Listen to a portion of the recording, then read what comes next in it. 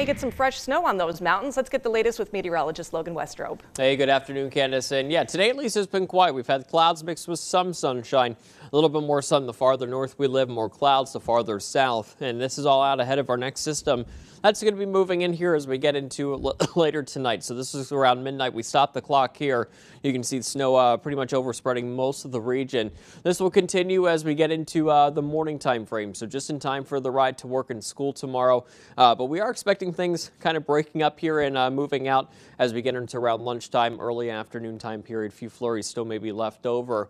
And expecting a general one to three area wide. I think uh, we'll have a better chance for more snow farther south and farther east we get into the southern tier and Poconos. So once again, uh, snow expected to develop here for tonight. Pretty quick moving system. Not the biggest snowfall we've seen, but still going to be impactful and disruptive to that uh, morning travel for tomorrow morning for work and school. Widespread one to three, isolated amounts four or five possible in the areas I mentioned, Pocono, southern tier, but still with temperatures starting off into the teens and 20s tomorrow. Uh, any untreated surfaces will be icy and slick and uh, looking for that to kind of wrap up here for the early afternoon. So uh, we'll be watching for that. We'll have you more latest updates as we go throughout the rest of today.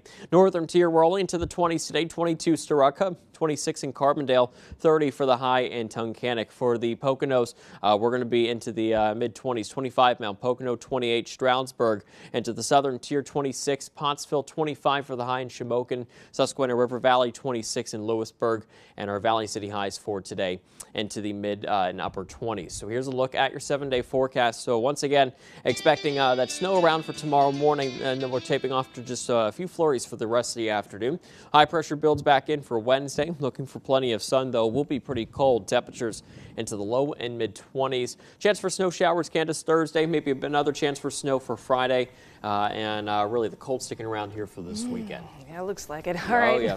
Thank you, Logan.